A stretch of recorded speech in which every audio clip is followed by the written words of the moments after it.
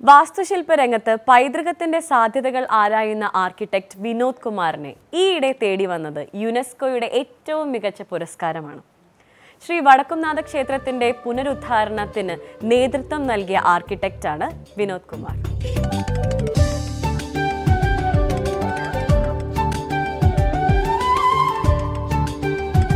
താൻ രൂപകൽപ്പന ചെയ്യുന്നതെല്ലാം വ്യക്തമായ സങ്കല്പങ്ങളിലൂടെ ഉരുത്തിരിഞ്ഞു വരുന്നതാണെന്നാണ് ഈ ആർക്കിടെക്ട് വിശ്വസിക്കുന്നത്. അടുത്തതായി നമുക്ക് ലോഗിനിലൂടെ വിനോദിന്റെ വിശേഷങ്ങൾ കാണാം.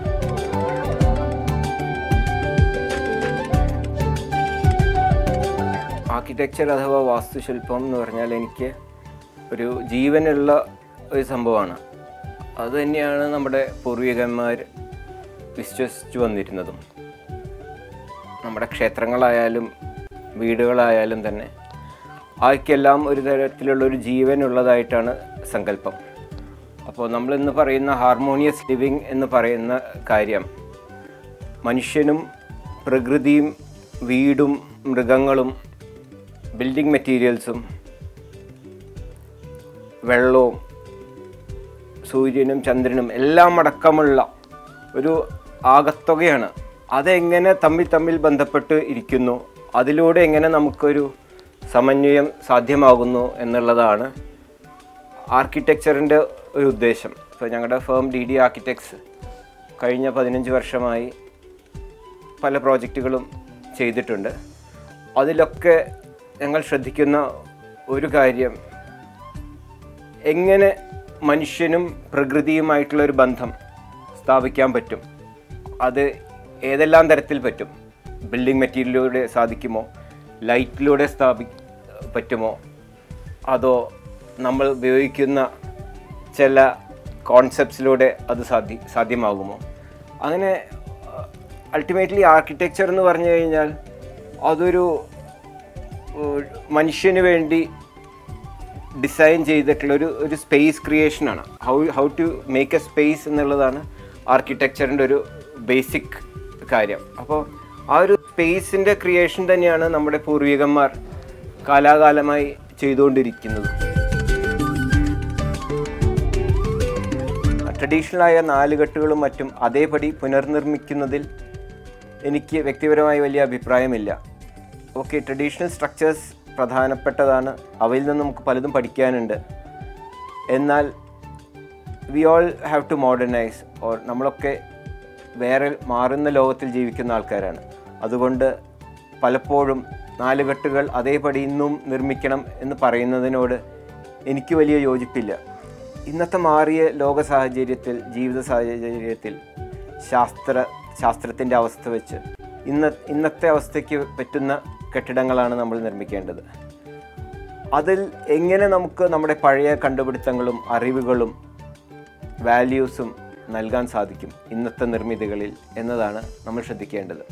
പല പഴയ ക്ഷേത്രങ്ങളിലേക്കും മറ്റു സ്ഥലങ്ങളിലേക്കും പോകുമ്പോൾ എങ്ങനെ നമുക്കവിടെ താമസിക്കുമ്പോഴും ചെല്ലുമ്പോഴും നമ്മുടെ ഓരോ അണുവിലും വരുന്ന മാറ്റം എന്താണ്?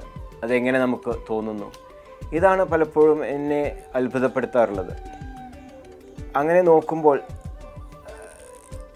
നമ്മുടെ വാസ്തുശില്പ വാസ്തുശില്പ സങ്കല്പം തന്നെ നമുക്ക് പഠിക്കേണ്ടി വരും.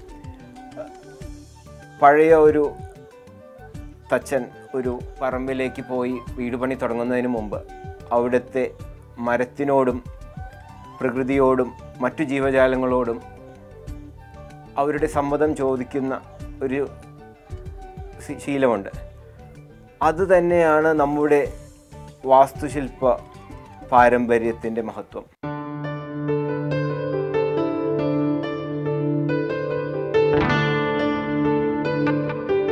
പണ്ടുകാലത്ത് നമ്മളൊരു ഭൂമി തിരഞ്ഞെടുക്കുമ്പോൾ തന്നെ ആ ഭൂമിയിലുള്ള എല്ലാ ജീവജാലങ്ങളോടും മരങ്ങളോടും ഈവൻ പ്രാണികളോട് പോലും സമ്മതം ചോദിച്ചിട്ടാണ് ആ ഭൂമിയിൽ ഒരു കെട്ടിടം പണിതിരുന്നത്.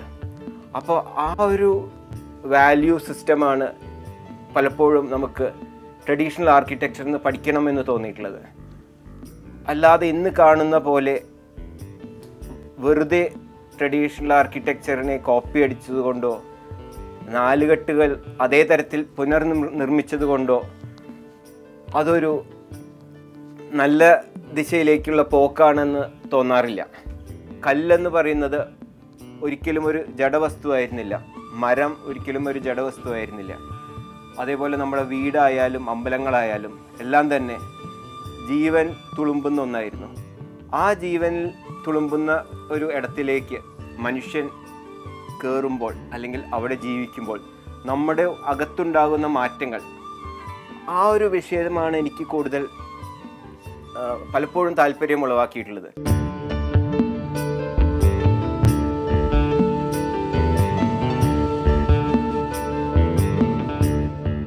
കേരളത്തിൽ നിന്ന് യാത്ര ചെയ്യുമ്പോൾ പലപ്പോഴും തോന്നിയിട്ടുള്ള കാര്യം നമുക്ക് ഇത്ര വലിയ വീടുകൾ ആവശ്യമുണ്ടോ? അതുപോലെ തന്നെ കഴിഞ്ഞ മുപ്പത് നാല് നാൽപ്പത് കൊല്ലങ്ങളായി കേരളത്തിന്റെ പ്രകൃതിക്ക് സംഭവിച്ചിട്ടുള്ള മാറ്റം. പലപ്പോഴും പുഴകൾ തന്നെ ഇല്ലാതെ ആയിട്ടുള്ളത് ആർക്കിടെക്ചർ കൊണ്ടാണോ എന്ന് തോന്നാറുണ്ട്. അപ്പോൾ നമ്മുടെ കെട്ടിട നിർമ്മാണ പ്രക്രിയ തന്നെ മാറേണ്ടതാണ്. അതിൽ കൂടുതൽ റിസർച്ച് ആവശ്യമാണ്. എങ്ങനെ നമുക്ക് കൂടുതൽ പ്രകൃതിയോട് ചേർന്ന് പണിയാം? മണ്ണുപയോഗിച്ച് എങ്ങനെ പണിയാം? അത്തരത്തിലുള്ള കാര്യങ്ങൾ റിസർച്ച് ചെയ്യേണ്ടത് വളരെയധികം ആവശ്യമാണ്. എന്താണെങ്കിൽ ഇത്ര വലിയ കെട്ടിടങ്ങൾ ഇത്രയ്ക്കധികം കേരളത്തിൽ പലപ്പോഴും നിർമ്മിക്കുമ്പോൾ അത് അത് പലപ്പോഴും ഇവിടുത്തെ മെറ്റീരിയൽസ് ഉപയോഗിച്ചിട്ടുള്ള നിർമ്മിക്കുന്നത്. വിദേശത്ത് നിന്ന് ഇറക്കുമതി ചെയ്തിട്ടുള്ളതും അതേപോലെ വളരെ ദൂരസ്ഥലങ്ങളിൽ നിന്നും വരുന്ന മെറ്റീരിയൽസും ടെക്നോളജിയും ഉപയോഗിച്ചാണ് എയർ കണ്ടീഷൻ ചെയ്ത ബിൽഡിങ്ങുകളാണ് നമ്മൾ പലപ്പോഴും നിർമ്മിക്കാറുള്ളത്. അതിൽ നിന്നും വിപരീതമായി എങ്ങനെ നമുക്ക് നമ്മുടെ ഭൂമിയോട് ചേർന്ന് നമ്മുടെ മണ്ണിൽ നിന്നുള്ള മെറ്റീരിയൽസ് ഉപയോഗിച്ച് നിർമ്മിക്കാൻ സാധിക്കും എന്നുള്ളതിനെ കുറിച്ച് കൂടുതൽ റിസർച്ച് ആവശ്യമാണെന്ന് തോന്നാറുണ്ട്. പിന്നെ ഞങ്ങൾ വർക്ക് ചെയ്യുന്നതെന്ന് പറഞ്ഞാൽ ഞാൻ ഒറ്റയ്ക്കല്ല ഒരു ടീം തന്നെ ഞങ്ങളുടെ ഒപ്പമുണ്ട്. ആ ടീമിന്റെ ഭാഗമായി പലപ്പോഴും ഞങ്ങൾ ശ്രമിക്കാറുള്ളത് ലോക്കൽ നോ ഹൗ അല്ലെങ്കിൽ ഇൻഡിജിനസ് ആയിട്ടുള്ള അറിവുകളുള്ള വ്യക്തികളെ കഴിയുന്നതും പ്രോത്സ- പ്രോത്സാഹിപ്പിക്കാൻ ശ്രമിക്കാറുണ്ട്. അപ്പോൾ ഞങ്ങളുടെ പല വർക്കുകളിലും ഓക്കെ പല വ്യക്തികളും ഇൻവോൾവ് ചെയ്യുമ്പോൾ ഓക്കെ പാവർട്ടിയിലുള്ള ജോയ് എന്നൊരു ഓക്സൈഡ് പണിക്കാരൻ അതേപോലെ ശിവദാസ് ഏട്ടൻ എന്നുള്ളൊരു കാർപ്പൻട്രി വർക്ക് ചെയ്യുന്ന ഒരാൾ പിന്നെ അർഷദ് എന്ന് പറഞ്ഞ കാറ്റിനെക്കുറിച്ച് കുറച്ച് റിസർച്ച് ചെയ്യുന്ന ഒരു ഫ്രണ്ട് ഇങ്ങനെ ഒരു പിന്നെ പല ആർക്കി ആർ നമ്മുടെ ഓഫീസിൽ തന്നെ വർക്ക് ചെയ്യുന്ന ആർക്കിടെക്ട്സ് ട്രെയിനീസ് അങ്ങനെ ഒരു ടീം വർക്കായിട്ടാണ് ഞങ്ങൾ പ്രോജക്റ്റുകൾ മിക്കവാറും ചെയ്യാറുള്ളത്. ആ ടീം വർക്കിലൂടെയും റിസർച്ചിലൂടെയും ഞങ്ങൾക്ക് തോന്നി തോന്നുന്നതും യാത്രകളിലൂടെ മനസ്സിലാക്കുന്ന കാര്യങ്ങളാണ് ഞങ്ങൾ പ്രോജക്റ്റിലൂടെ അവതരിപ്പിക്കാൻ ശ്രമിക്കാറുള്ളത്.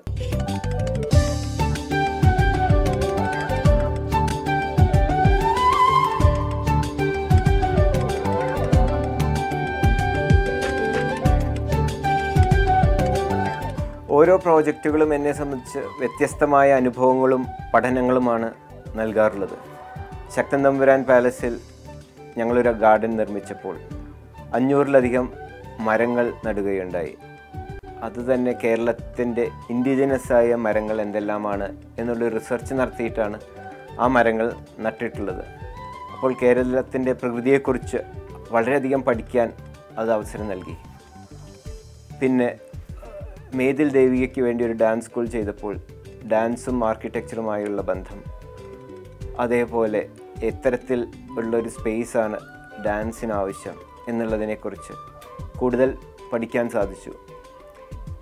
അതുപോലെ വടക്കേച്ചിറ എന്നുള്ളൊരു വലിയ തടാകം അല്ലെങ്കിൽ പോണ്ട് ഞങ്ങൾ റീവൈറ്റലൈസ് ചെയ്തപ്പോൾ പുനർ പുനരുദ്ധരിച്ചപ്പോൾ തൃശ്ശൂരിൽ. അതിനെക്കുറിച്ച് കൂടുതൽ അറിയാനും പഠിക്കാനും സാധിച്ചു. അത്തരത്തിൽ ഓരോ യാത്രകളും ഓരോ പ്രോജക്റ്റും കൂടുതൽ കാര്യങ്ങൾ പഠിക്കാനും ഉള്ള അവസരങ്ങളാണ് നൽകിയിട്ടുള്ളത്. അതുപോലെ തന്നെ കേരള ഇപ്പോൾ ഞങ്ങൾ കേരളത്തിന്റെ പഴയ പല വീടുകളുടെയും ഡോക്യുമെന്റേഷൻ ചെയ്തിട്ടുണ്ട് ചെയ്യുന്നുണ്ട്. അങ്ങനെ ഓരോ വീടുകളിൽ ചെല്ലുമ്പോഴും അതെല്ലാം വ്യത്യസ്തമായ അനുഭവങ്ങളും പഠനങ്ങളുമാണ് നമുക്ക് നൽകാറുള്ളത്. ശ്രീ വടക്കുന്നാഥ ക്ഷേത്രത്തിന്റെ പുനരുദ്ധാരണവുമായി ബന്ധപ്പെട്ട് പത്ത് വർഷത്തിലധികം പ്രവർത്തിക്കാൻ സാധിച്ചത് ജീവിതത്തിൽ തന്നെ വലിയൊരു ഭാഗ്യമായി കരുതുന്നു. ക്ഷേത്രങ്ങളെക്കുറിച്ചും അതിന്റെ നിർമ്മാണ ശൈലിയെക്കുറിച്ചും നമ്മുടെ വാസ്തുശില്പ സങ്കല്പത്തിനെക്കുറിച്ച് തന്നെ പുതിയ ഒരു അനുഭവം ആ ഒരു പ്രോജക്റ്റിൽ ഭാഗമാകാൻ സാധിച്ചിൽ നിന്നുണ്ടാകുകയുണ്ടായി നേരത്തെ പറഞ്ഞതുപോലെ നമ്മുടെ ആർക്കിടെക്ചർ എന്ന് പറഞ്ഞാൽ വെറും ഒരു വസ്തുവല്ല അതിൽ ജീവനുള്ള ഒന്നാണെന്ന് കൂടുതൽ മനസ്സിലാക്കാൻ സാധിച്ചത് ആ ഒരു പ്രോജക്റ്റിലൂടെയാണ് അതിന് ഞങ്ങൾക്ക് UNESCO Asia Pacific award of എക്സലൻസും ലഭിക്കുകയുണ്ടായി. സൗത്ത് ഇന്ത്യയിൽ തന്നെ ആ ഒരു അവാർഡ് ലഭിക്കുന്ന ആദ്യത്തെ പ്രോജക്റ്റാണത് അങ്ങനെ ഓരോ യാത്രകളും ഓരോ പ്രോജക്റ്റും ഒരു പുതിയ ലോകം ഒരു പുതിയ അനുഭവമാണ് നമുക്ക് നൽകുന്നത്. അപ്പോൾ കൂടുതൽ യാത്രകളും കൂടുതൽ പ്രോജക്റ്റുകളുമായി ഈ ഒരു യാത്ര തുടരണമെന്നാണ് എന്റെ ആഗ്രഹം.